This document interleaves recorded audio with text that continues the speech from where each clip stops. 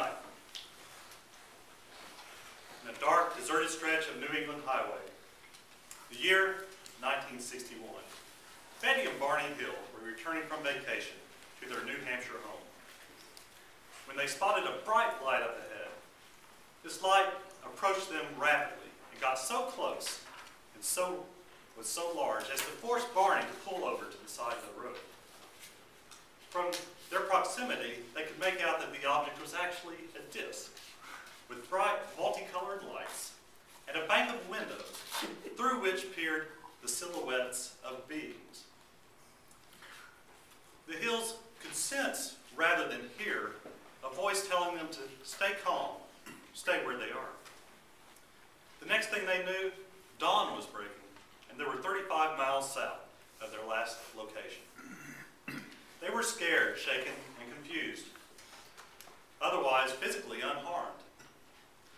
The curious thing, though, they had no recollection of the seven hours that had elapsed since first seeing the light.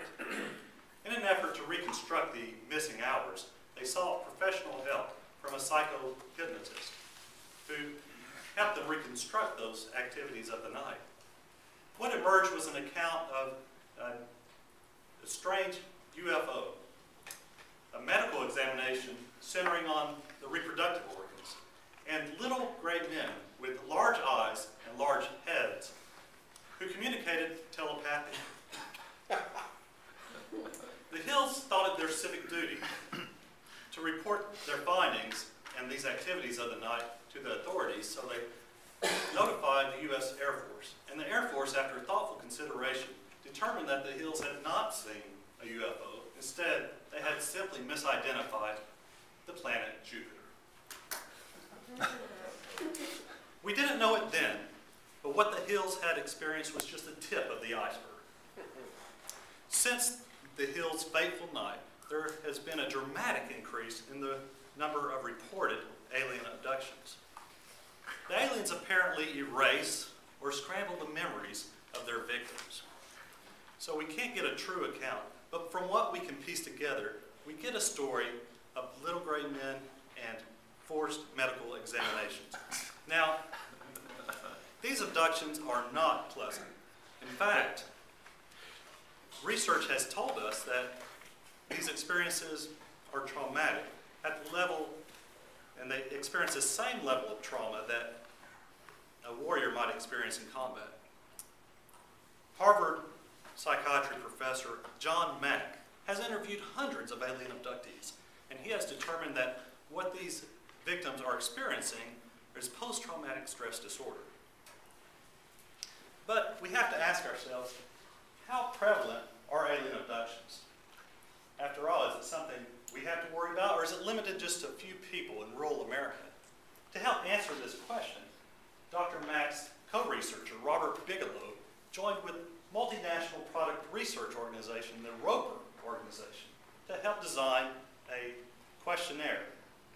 Together, they constructed a survey that helped that was so designed as to eliminate any biases and had quality assurance measures so as to weed out aberrant or untruthful responses. The Roper organization administered this survey to 6,000 Americans from all walks of life, from all ages, and from all parts of America. Their findings were out of this world. One in 50 people responded that they had symptoms similar to those of known alien abductees. That's 2% of the American population. That's twice the number of alcoholics in our country. That's four times the number of asthmatics in this country. Fellow Toastmasters, alien abduction is a public health threat that rivals that of our most common chronic diseases.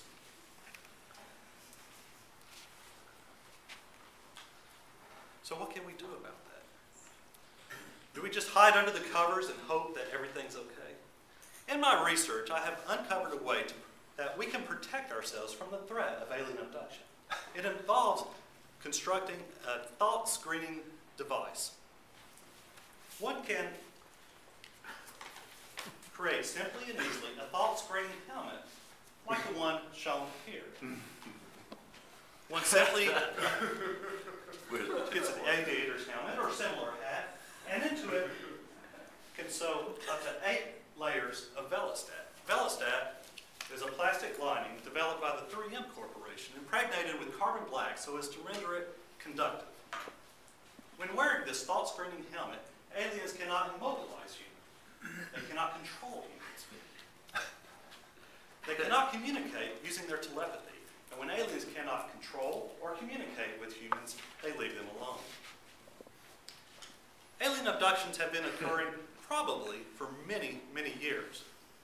Our perception of, of the prevalence of this phenomenon has probably been masked because of the aliens, perchance, for scrambling our memories. We can, the alien intellect is much, much greater than that of our own. And we can no more understand why they spend so much effort and energy into abducting humans, any more than a cow can understand why a human leads it to the feedlot. But we do know a few things. We know now how traumatic alien, conduct, alien abduction can be. We understand now how prevalent it is. But we know one other thing. We know how to protect ourselves from the threat of alien abduction using a cheap and simple tool like a thought screening helmet. It's a small price to pay for a comfortable level of insurance. I now have time for one or two quick questions. Yes, sir. Is This social phenomenon only occurs in the US. I had never heard of this in India.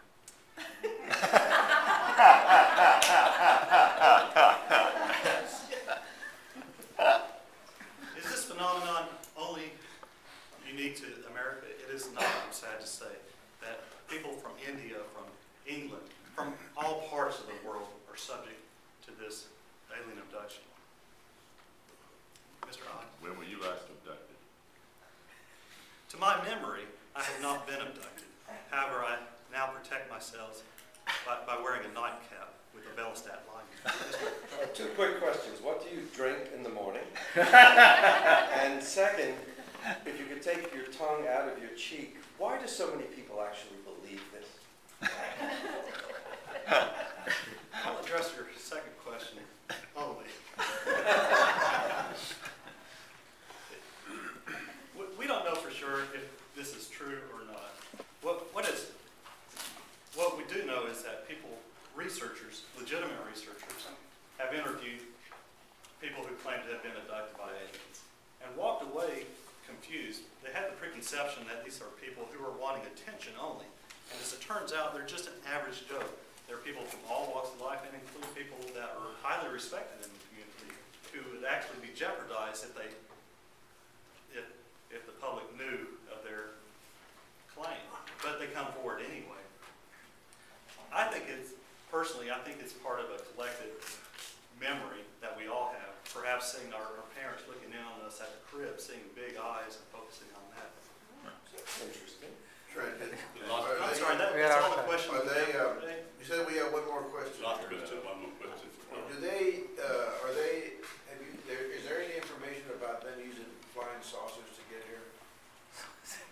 How will, We're, No, they took the NFTs subway. are not privy to any type of information, and we, the government probably has a lot of information on, on this, but we can't get that from firsthand accounts of, of the victims of alien abduction. Uh, thank you for your time. Thank you, sir.